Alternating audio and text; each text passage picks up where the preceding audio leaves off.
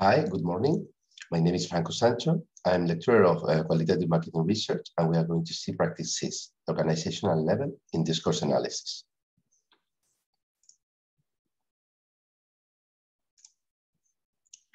Okay, this is uh, the, the third level in, in uh, discourse analysis, uh, and we are going to continue with the uh, analysis we have seen in previous sections.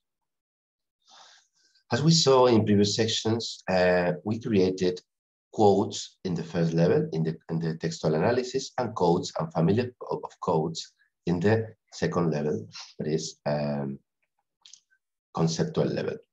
Uh, in this case, uh, in, the, in, the, in this sixth practice, we are going to uh, create relationship re relationship between codes. So we are going to be able to establish uh, nodes and links between the networks. As, we, as, as you can see, or, or an, analog, an analog, an analog of, um, of what we are going to do is like a family tree.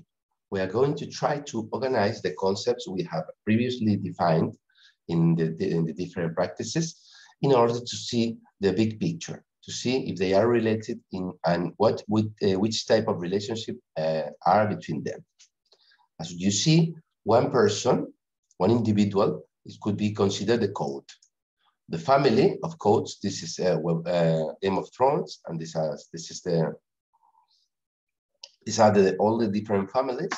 So we can see that here we have the Stark family, and this is the family of codes. That means codes that have some relationship between them, and this is why we have put them all together. For instance, if we are talking about consumer journey, uh, journey map, all the codes that I, I happen before the activity, the, the, experience, are considered to be a family. During are also a family, and after are also a family. So what we are going to do is try to find relationships between families, in this case, between the Starks and other families. So this is what we are going to do in, in practical terms, with uh, coming uh, from a different examples. So um, summarizing. In the first level, well, first of all, what we did was to upload the uh, PDF, the primary documents, to, the, to our main document. In the first level, we underlined all the different ideas that we thought could be related to the uh, objective of our study, the textual level. Uh, in, uh, in the last practice, what we did was to conceptualize that, to, to, to categorize these ideas into codes. Remember that the, the three approaches we have seen in the class for the conceptual level are the customer journey map, that is like a process, and within uh, the, each of the different uh, steps, before, during, and after, we can uh, think about the different, for example, customer experience generator. This can be another type of concepts, another approach, and the last approach is the are the levels organization, uh, sorry, the experiential level, transactional level, and relational level. So once we have these levels, we have done all until conceptual level. Now it's time to relate the, the different uh, the different uh, concepts in networks. What we are going to do is to find relationships. So this is the the, the main um, well the big picture of the study we are doing. In the first stage, we that we have already done it is to delimitate the objective of the study. In the second stage, to gather the information, to uh, describe the fieldwork, and also to gather the information. And in the third technique, sorry, in the third stage, we uh, are going to analyze the information. Uh, we, from an experiential perspective, that is the, the textual analysis, we create the code, the quotes, and the memos.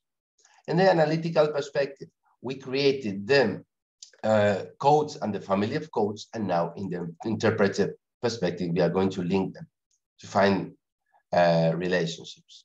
So in this case, in the organizational level, we are going to uh, use two perspectives, the structural and the, the interpretive. Uh, in the structural, we are going to bring uh, us closer to the hierarchical position of the attributes. So in this case, what we are going to try to do is to put in a map all the different concepts uh, or in different maps, maybe more than one, all the different concepts we have seen in class. and to put in the center the most important uh, of the of the network, the most important um, concepts, and uh, outside the center, we're going to put the second the secondary. And in the second uh, perspective is interpretive, is when we are going to try to drive some relationship between the different concepts. So when we are talking about structural analysis, this uh, idea of structural analysis, these this, uh, tools come from sociology, uh, and it is aimed to show the root idea that reproduces the text. So to extract information coming from the text, the essence, the meaning of how the dialogue is enunciated. There are four types of uh, tools that are used in sociology, and we are going to focus only in one. Well, just for you to know, the first one is binary oppositions, the second one, semiotic table, the third one, semi-triangle, and the fourth one, tables are matrices. We are going to focus on semiotic table from a, from, from a marketing perspective. The formal definition of semiotic table is a representation of relationship between the distinctive features of categories. In this case, we are going to focus on customer typology. Uh, as you can see in, in red, if we have four, type of, four clients and four different type of customers, we want to look for the different uh, citations, the different quotes that define different types of customers. In this case, an example can be the wise customer, and wise customer means the knowledge that they consider that the, now, the knowledge, these kind of customers consider that the knowledge regarding a service is derived from experience. So they are very focused on tradition and the maturity of the product. They want to, they consider they are experts because they have visited, for example, the thematic park many times. The, the, the novice or the novel, uh, on the other hand, they are, they are opposite. They value discovering new things. They want to be surprised. So this is people that uh, is new in this kind of service and they want to find new things, interesting, surprising things. Another type of customer can be the critical one, that is the stricter in terms of evaluation, and they are very sensitive to changes.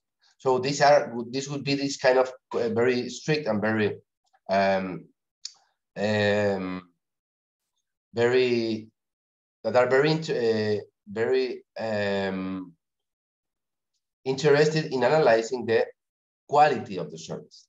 On, on the other hand, the modable are the, those that see an opportunity in change. This kind uh, that are new customers, but they are but they, that are open to advice. This is why they are moldable. And these are four types of customers that we have found as an example. We have seen a couple of examples. We are going to see some a couple of examples. Um, for example, the, from the uh, previous uh, studies from a previous study last year from Oceanographic Thematic Park, they, they have found four types, the wise, the noble, the those that are critical can be and non-critical. Atentos is atentos. Uh, atentos mean that are very interested in the details and desatentos are that they are not, that they don't care very much about the details. As you can see, they have found these four types of customers and they have found some quotes coming from the from their uh, in-depth interviews and the and the focus groups that support this that this kind of um, customer exists. For example, Wise they have found some ideas that support that, that, that there are some Wise uh, customers regarding this service, novel and so on, critical and non-critical. The second study we are going to see is the Dream Sea Mediterranean Camp. They also found say, wise and novel, and also critical and non-critical, moldable. Okay, and of course there are a lot of quotations here supporting that there are four types of studies. In your studies, what you have to do is something similar. You have to read your, again, your um, in-depth interviews and your focus group, trying to find ideas that support different types of customers. We're kind of uh, trying to segment or to find the typical individuals that come to this kind of uh, thematic bar, restaurant, hotel, and so on. And finally, we are going to see networks. Here we, you have an interesting reference. This is the, uh, a free book we have seen throughout the course that could be interesting to check if you don't know how to do the things, how to do qualitative research with Atlas.ti. Here you have the link, and also the Atlas.ti guide, user guide. Here they have a section, this is also free, where, where they explain how to do network views. So what are network views? Network views, as I told you, is a kind of graphical representation of the concepts we have seen in class and also the different elements that are included in the, uh, in the relationship between the concepts. So why they, they are the most used element in qualitative research? They allow, allows summarizing information of previous uh, practices. They facilitate the presentation, the, the graphical presentations. Uh, and they also uh, drafting the results and conclusion, conclusions. Facilitating the, present, the presentation of comparison between different, for example, years. It's a summary, as I told you, and they synthesize, synthesize um, the large, large amounts of information. So they are um, always included in a study. They should be included. How we are going to do, how we are going to create these networks. So it's not, it's not very difficult. We have to go to the top menu. There is one, one section called network. We click on network and we can, um, we can open the network um, manager. And we can also click on this icon. This, uh, I'm going to show you the icon. This is the icon. We can click also in this icon and do it in a different way by using a drop-down menu. Once we have opened the, the, the network menu, what we can do is to select all the different, um, the code manager. We can select all the different codes by clicking on them or by clicking on, uh, well, we can select all together. And once we have selected all, we click on the right uh, button and we open the network view. Once we open the network view, we are going to have a page like this. We are going to have something like this, a new one with all the different codes we have selected. We can select all the code together, or we can, if we are going to create two or three graphs, different uh, networks, we can select. For example, first, the ones related to the customer journey map. In the second level, we can select the ones related to uh, the, the, the, different levels, experiential, relation, relational, and transactional. And in another one, we can create, uh, we can open alone the ones related to the customer experience generator, or we can mix. So once we have this, we have all the concepts in our Blackboard. We need to relate them. How to relate them? It's not difficult. What we do is to put our, well, once you, we have this, we can put our, sorry, we can put our mouse on one concept, click on control and drag it on to the other concept. So we are, we are going to see this later and it's going to create a relationship. We can also relate, create, select two concepts and click on relationship here. There are many ways to do it. So uh, the idea when we have, well, first of all, as you see, everything is not organized. The first thing is to organize them visually, to move them, to put them in order. We are going to see this later. And, late, and after, to create a relationship between them, as you can see. And also to save it with a name. So you see here, we can save it with a name. And that's it. This is the way. How to create relationship. If we have two codes, for example, in this case, how to create a relationship. We can put on one concept, we can drag uh, to the other one by clicking in the control, and we can, this is going to be open, the different types of relationship. If there is association with, between the concept, if it's part of it, if it goes, if it contradicts, if it's, for example, imagine we have two elements that are associated or related. When one thing happened, the other one happened. So we would choose associated with. The first one is associated with. If, for example, we are talking about customer uh, journey map and we have the different concepts, this is the main concept, and we have the different concept that constitute, that conforms the, the um, we have the family of code customer journey map before, and we have the codes that appear before. The relationship we would use to relate this concept is part of. We would use is part of. Here we are, is part of. And there are many others. But in general, you are going to use these two. So uh, another way to create, let's go into see another way to create. The Oceanographic of Valencia, the one of the studies uh, that we have seen during the, during the course, show us a different way to do. it. We go to network, new network view. It's in Spanish, but I'm going to translate it by talking. Import nodes. Import nodes means which type of concept or family of concept what you want to put in the, in the whiteboard. So here we can see in the last part that we can select the different things we want to put in our whiteboard. And we have the different codes. Once we have the different codes, we can create the relationships.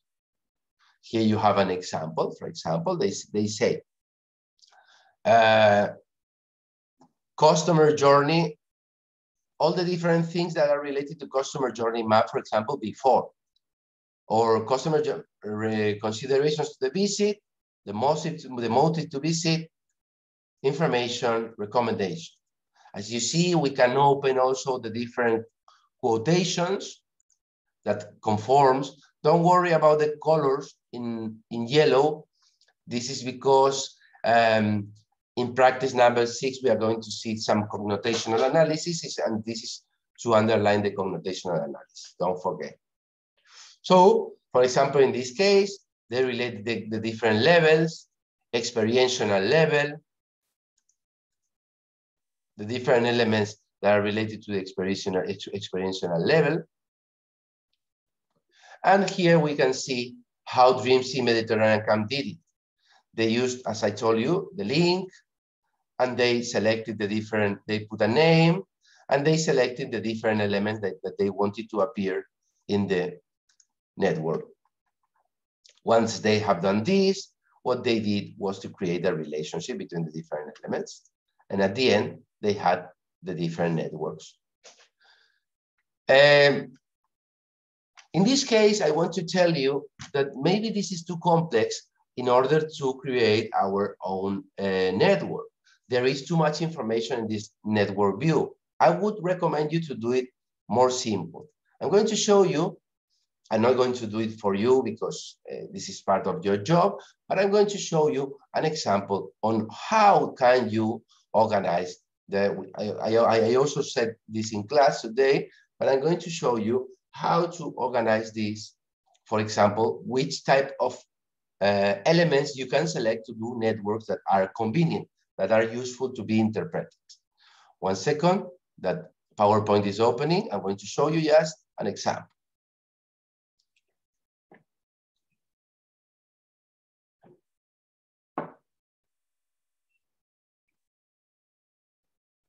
So imagine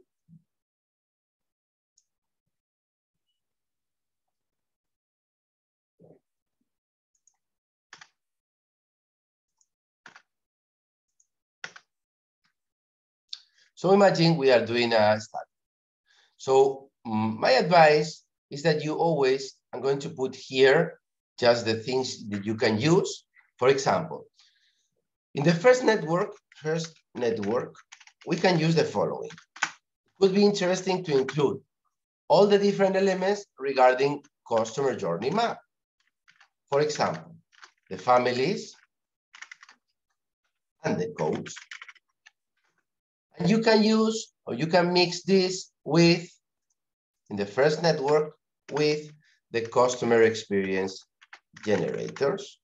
If you remember, the customer experience generators were physical evidence, uh, stuff, processes, and so on. So you can do, do a first, the first network, including these elements. And if you do a, a first network including these elements, you're going to see something similar like the one that I'm going to show you now. For example, you're going to have customer journey map before.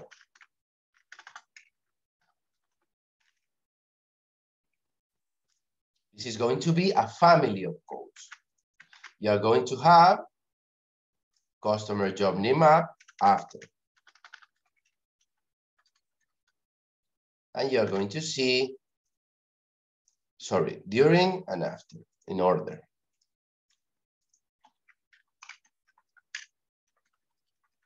So the first thing we can have is this, like the main elements of our customer, of our codes.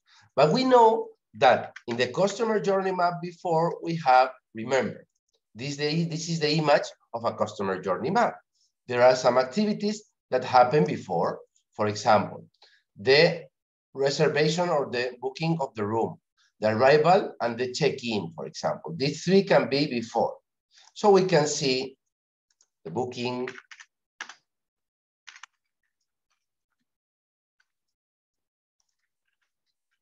the arrival. We can see only these two, for example. These two. These two can be codes related to customer journey map before. So what we are going to do in the program, of course, is to relate this and this to customer journey map before. And which type of uh, relationship we would use? In this case, given that these two, these two elements are, these two elements are part of, we are going to use is part of. I'm not going to do it with the program because I want you to do it by your own, okay? But we can see that these two elements, these, these two, these two co concepts are related to customer journey map before. If we come back to the uh, customer journey map, we see check-in, uh, uh, room, dinner, for example. So we can see the different level here. During, we can see check in,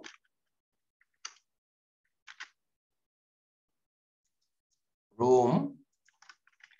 General, This is an example just. And just for you to see. And for example, dinner or re restaurant, restaurant. If there are more things to, uh, to assess, we are going to put all the different things we are going to use. So in this case, we are going to do the same. We are going to put a, an arrow, a relationship between these concepts and the family of concepts, the during family. with the program, of course, I'm going doing this in, and we are going to use also in this case is part of for all of them because they are part of a family. And finally, if we go to the customer journey map, we see after can be uh, the checkout, it can be the satisfaction, it can be the recommendation. So we can do one as an example. For example, here, satisfaction, we can do recommendation. If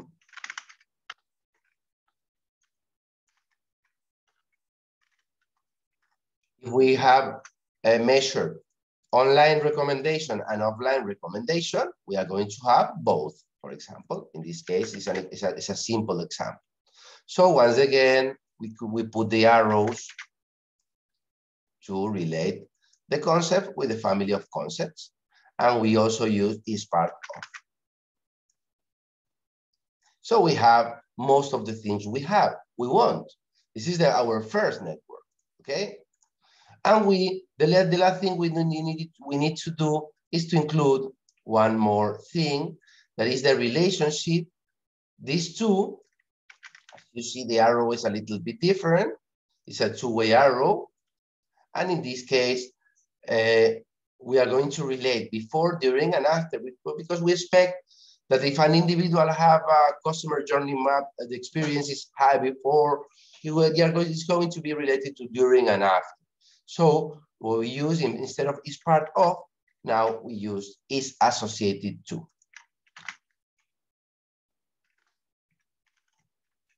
With, sorry, is associated with. For this relationship and for this relationship. And here we have the code. It's an example of code that is quite good, quite interesting, quite convenient. If we want to do the same for the second level, for example, the second network, we are going to change different thing. We can include in this second network some different things. For example, we can include customer journey map, but now instead of customer journey, uh, customer experience generator, the levels. We can include the customer journey levels. And in this case, for example, if this would be the case, we would include transactional,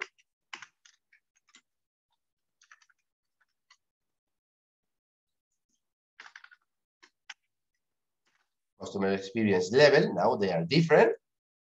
Transactional, remember, as we have seen in class. Relational and experiential. Remember that this is the order. Because we assume that the basic, the most basic relationship between the customer and the company is a transactional level. The, the, the, the basic, the most basic. When, when the customer is only interested and the company in the transaction, transaction itself, giving a service in, in exchange of money and time. The second level is relational and the, that is a little bit more, and experiential is the most complete, most uh, full relationship. Now, the, the codes are different because remember, I'm not going to write all of them, but remember that if we are talking about the levels, uh, we are going to talk about the different elements that include the transactional. Going to eliminate this, and you need to put other the codes that you use in this section. Okay. We can use also, for example, customer journey map, the levels, and also in, the, in a second level, we can use the customer experience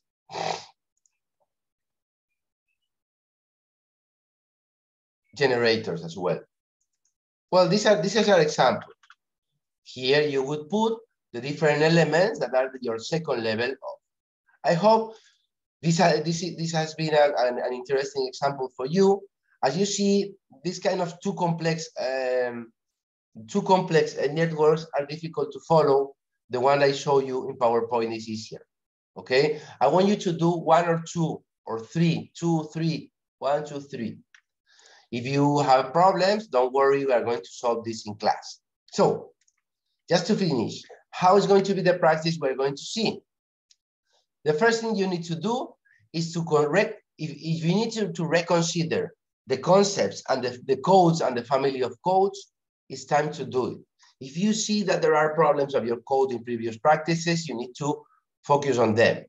You remember that they should be related to customer experience, both generators and levels, and customer journey map, and also some characteristics of the individual because in the first part, you need to use semiotic table to uh, describe the client's typology, to find this kind of a square with four types of clients. And given giving some example of quotes that define this type of, of clients. And finally, you need to create different graphical representations, that is the network visualization that we have seen, related to the objective of our, our studies. Uh, we saw this the 4th of April, and you have two teaching weeks until the 28th of April to send me a Word document with uh, sub subsections one and two, and the hermeneutic unit as usual. Okay, thank you very much. I hope you have enjoyed this practice and see you uh, next week in class.